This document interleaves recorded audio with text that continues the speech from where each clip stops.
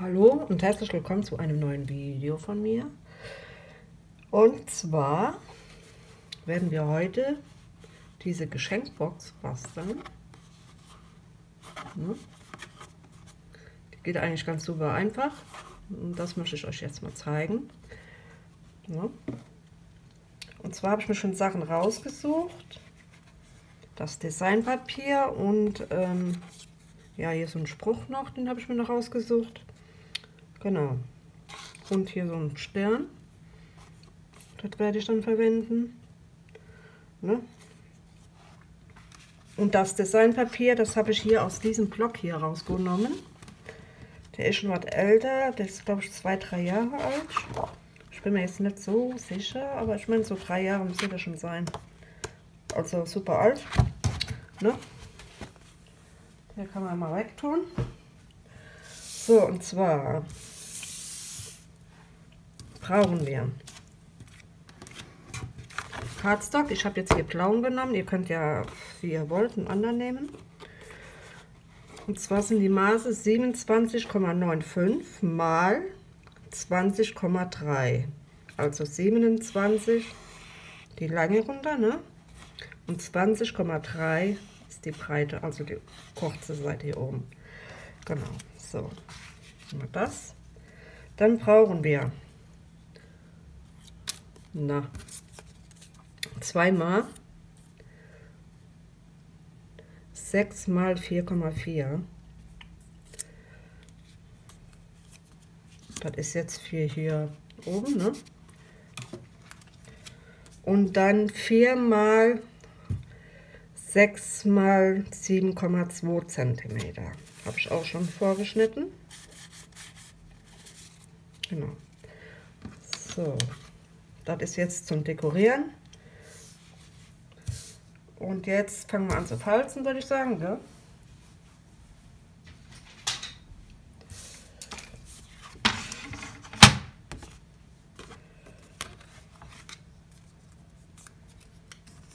Ich nehme jetzt hier das vom Action.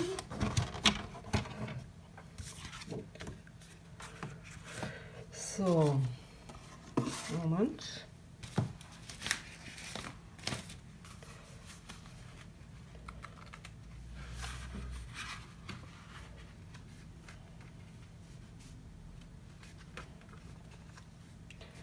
Und zwar bei 6,7.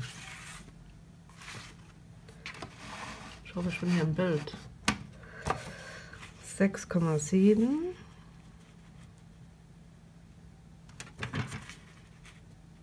Da ist die 6.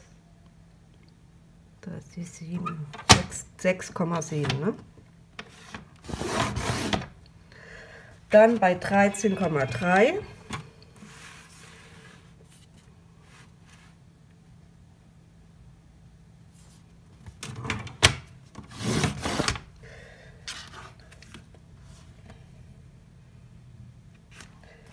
Also jetzt hier auf der langen Seite müssen wir jetzt falten, ne?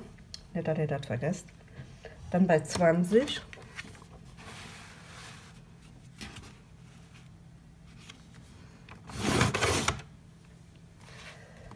Und dann bei 26,7.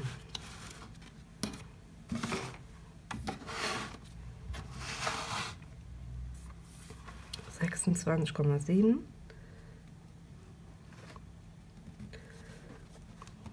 Na.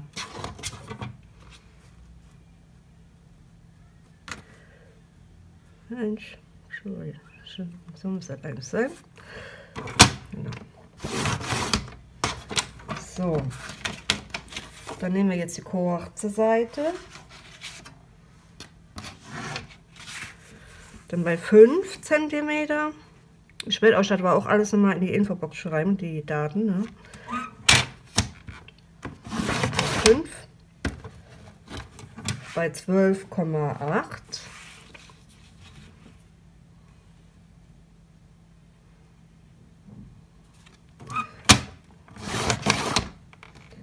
und bei 17,7.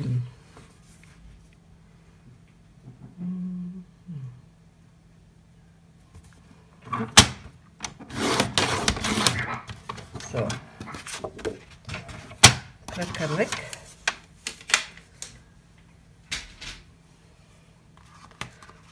Und dann tun wir erstmal falzen.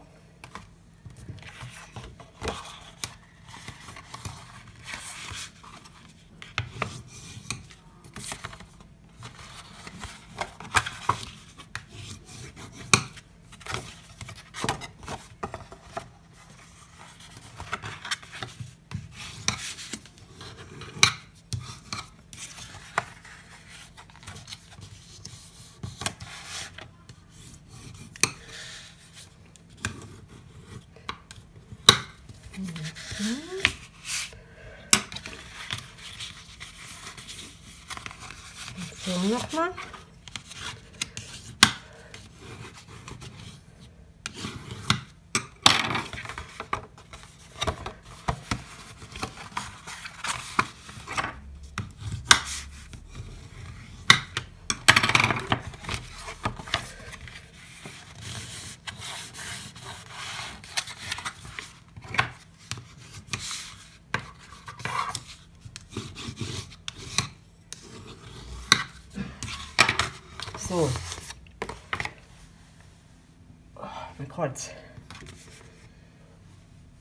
Dann, Moment,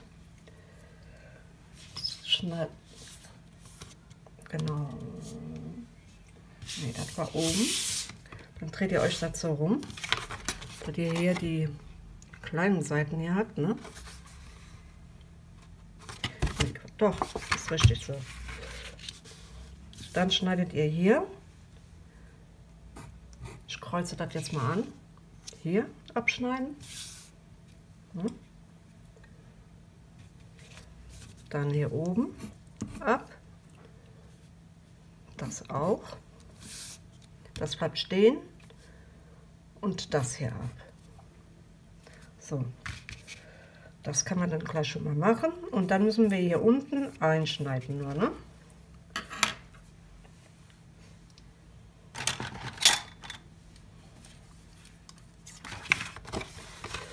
So.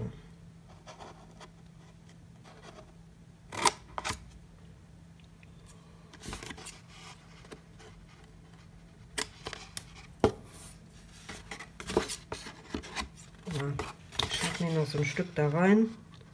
Das wird dann die Klebelasche.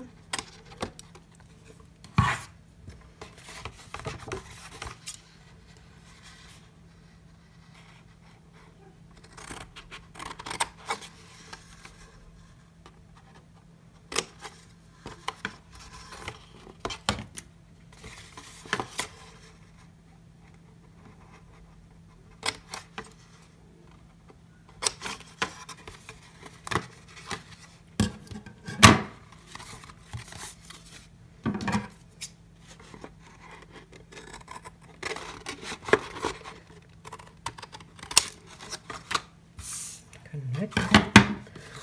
So, damit das dann so aussieht. Ne? Und hier wird jetzt noch reingeschnitten.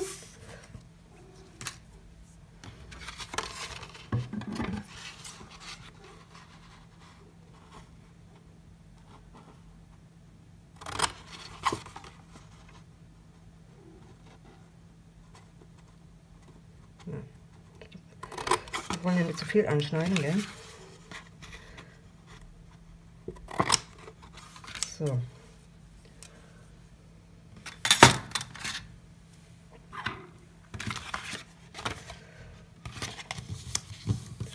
Dann nehmen wir uns Kleber. Also ich habe mir, ich habe den Tombow-Kleber genommen.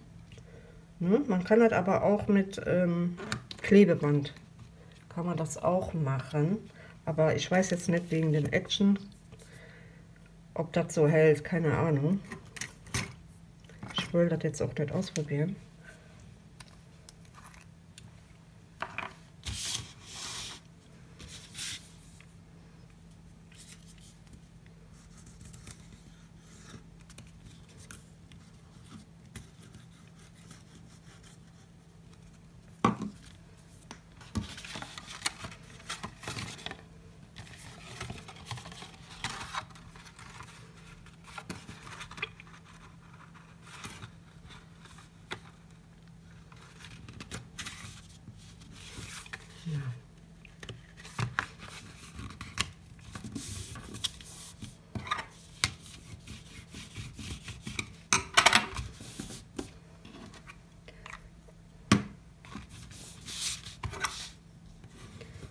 So, ein bisschen warten, bis er ein bisschen angetrocknet ist.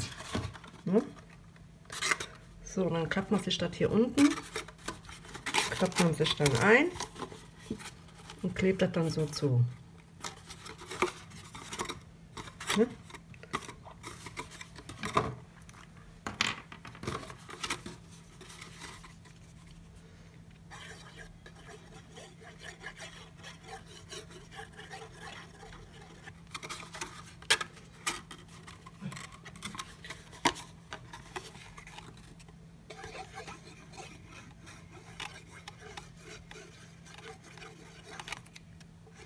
Ja, der wird so langsam leer.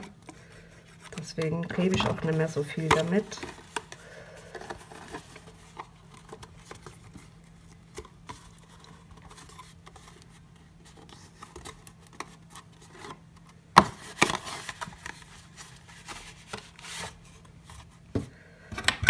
So, dann geht er in den Falzbein, geht ja unten noch mal so rein.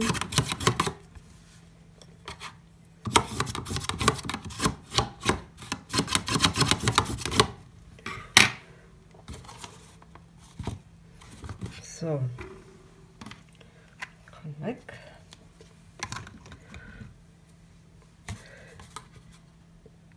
Jetzt ist es schon quasi schon fertig, ne?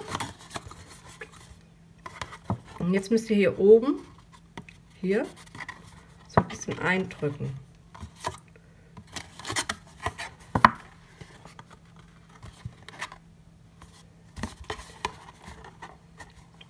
Also hier an der Seite. Ne? Jetzt nicht da, wo die oberen Teile hier sind, sondern hier an der Seite.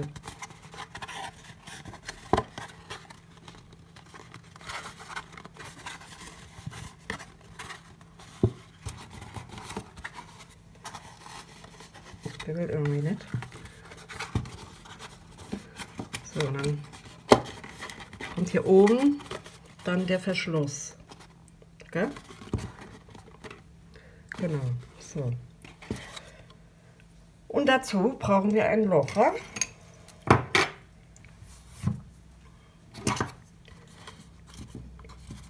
Also so eine Lochzange. Benutze ich jetzt so. Dann macht ihr euch zwei Löcher hier oben rein.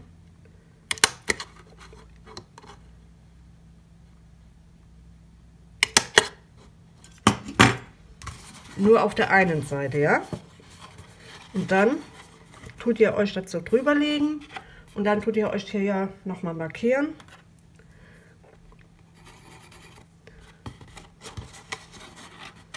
Das soll ja auch alles exakt sein, gell?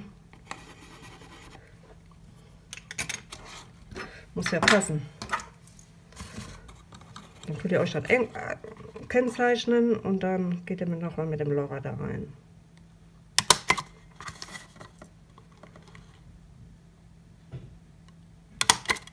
So. Und dann nehmen wir uns ein Band.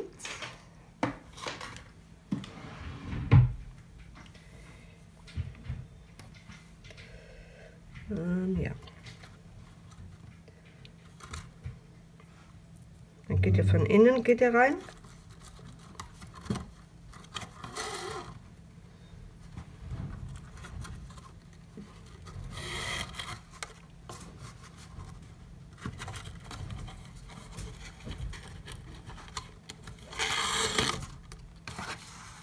Und dann im anderen von innen durch.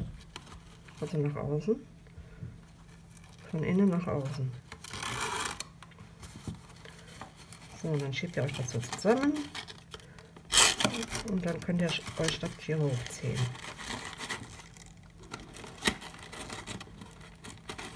Na.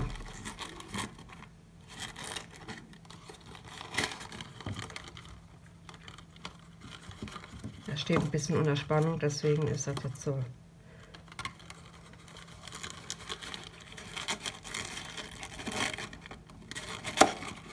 Na.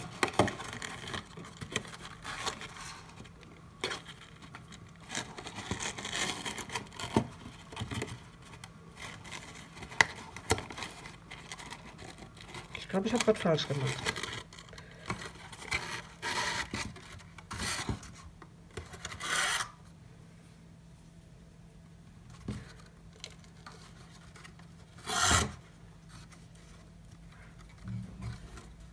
Fourth year effect.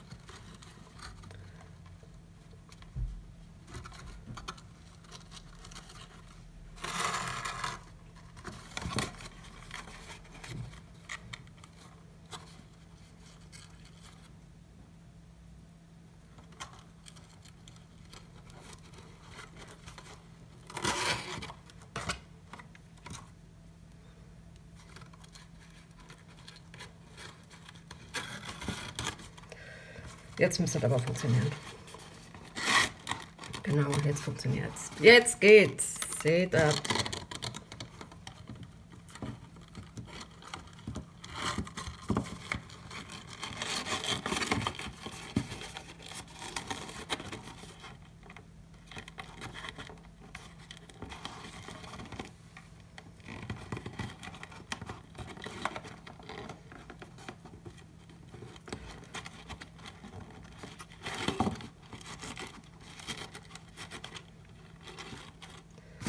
So.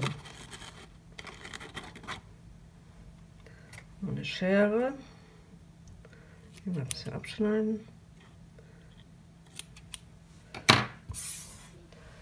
So, und dann tun, wir ein wenig dekorieren, würde ich sagen. Ne?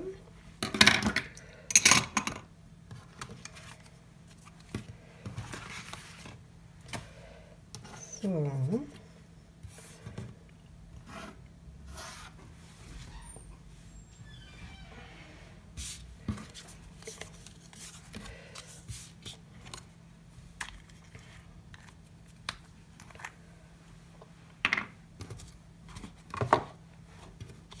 Man kann das auch alles vorher machen, aber habe ich jetzt leider vergessen. Und der Tombo ist mal wieder leer. Aber geht er dann mal, geht er mal wieder nicht, ne?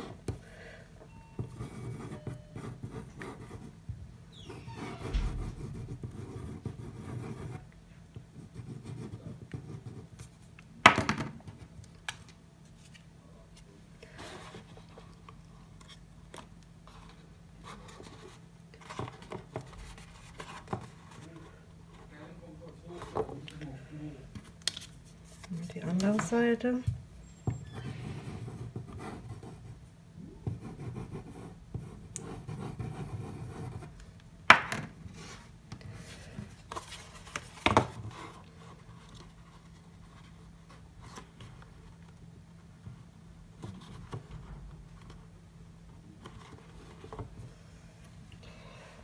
So, dann das große.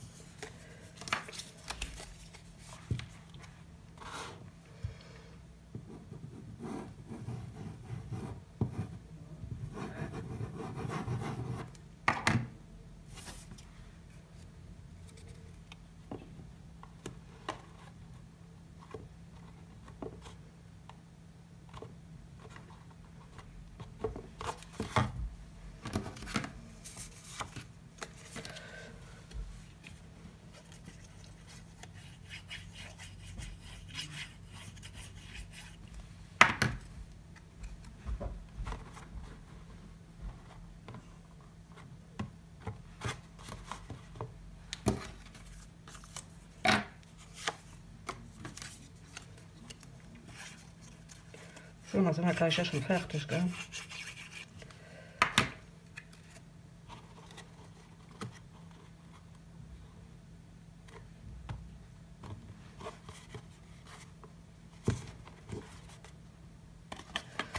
Da habe ich zwar zu weit reingedrückt. Da müssen wir das nochmal einen drauf machen.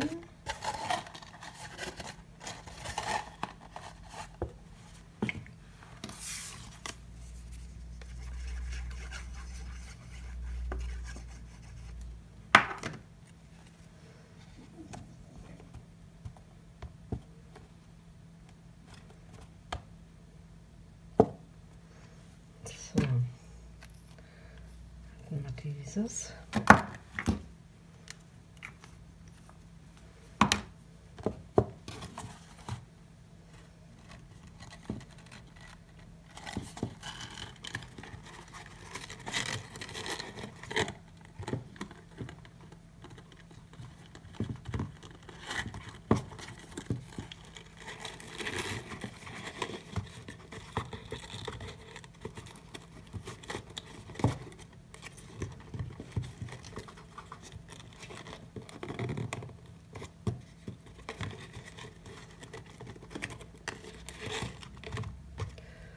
So.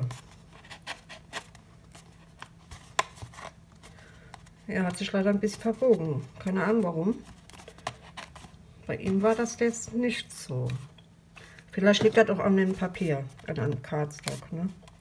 Kann auch sein.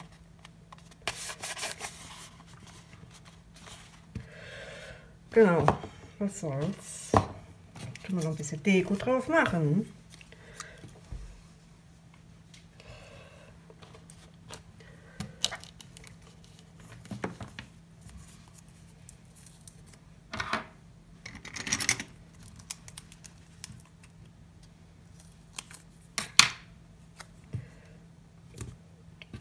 Das war zu viel.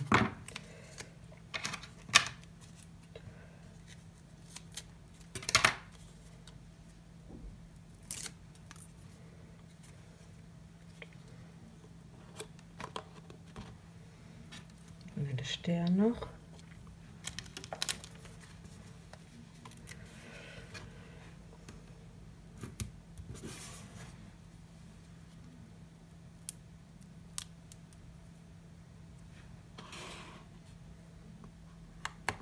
Ja, komm schon.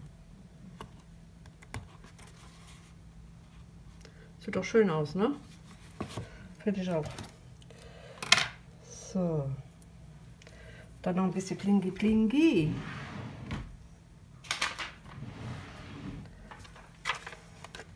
Noch ein paar Steinchen.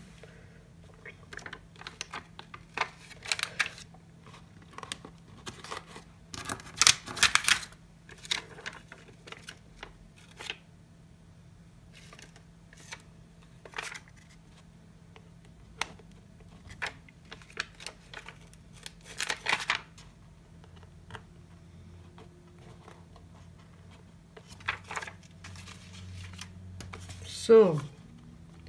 Und fertig ist die Box. Als Geschenkbox, ne? Ja. Könnt ihr mir ja gerne in die Kommentare schreiben, was ihr so davon haltet. Ich finde eine mega schöne Box ist. Und diese genauso. Ne? Genau. Würde mich natürlich freuen über ein Like und über ein Abo. Bis zum nächsten Video.